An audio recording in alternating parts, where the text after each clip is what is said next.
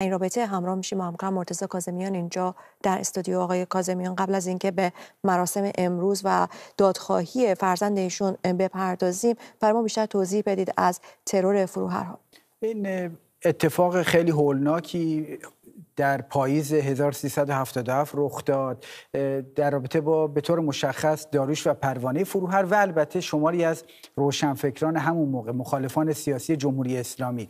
در رابطه با فروهرها در شامگاه سیوم آبان 1377 ماموران وزارت اطلاعات راهی منزل مسکونی داروش فروهر شدن که اون موقع 70 ساله بود و همسرش پروانه فروهر که 60 ساله بود. هر دو بیمار بودن و بعدا مطابق گزارش هایی که اومد منتشر شد از بازجویی های اونها اعتراف کرده بودند که با ضربات متعدد کارت اینها رو هدف قرار دادن. بیش از 20 ضربه مثلا فقط به پروانه فروهر زده بودند و به شکل خیلی فجی و به نوعی غیر انسانی با خشونت محض و به قصد ارعاب هر دو اینها رو هدف قرار دادن. خب هم داروش فروهر هم پروانه فروهر از چهرهای شناخته شده جبهه ملی ایران بودن و خب در حزب ملت ایران به طور مشخص دبیر کل و از اعضای ارشد اون داروش فروهر و پروانه فروهر.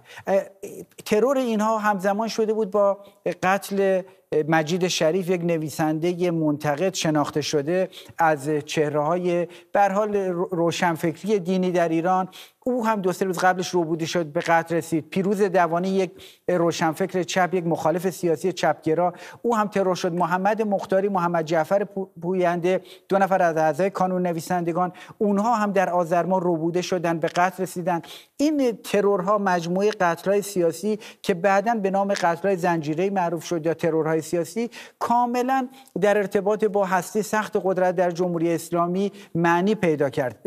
ماموران وزارت اطلاعات این رو پذیرفتن. یک پرونده به نوعی رسوایی برای جمهوری اسلامی شکل گرفت. اما علی خامنه ای از روز اول گفت که این باید رفت دنبال نقش دشمن اسرائیل آمریکا مطابق معمول حتی بعدا که وزارت اطلاعات مسئولیتش رو پذیرفت تلاش کرد در سخنرانی هاش بگه اینها مهم نبودن دارن جنجال می‌کنن. به ویژه که این پرونده در رسانه های وقت خیلی باستاب داشت. اما من جنبندی کنم شاید که از مهمترین پرونده های سیاسی مرتبط با حاکمیت سیاسی در جمهوری اسلامی باشه که نشون میده تا چه اندازه سرکوب مخالفان رو در دستور کار خودش قرار داده نه فقط به قصد حذف اونها بلکه حتی با این هدف که ایجاد ارعاب کنه برای اینکه دیگر منتقدان و ناراضیان و مخالفان رو و البته دگراندیشان روشنفکران رو ساکت و منزوی کنه. آقای کاظمی خب 26 سال گذشته پرستو هر دختر اونها این سالها تلاش کرده که یادشون رو زنده نگه داره و همیشه مراسمی تا تونسته برگزار کرده. این چه تأثیری می‌تونه داشته باشه؟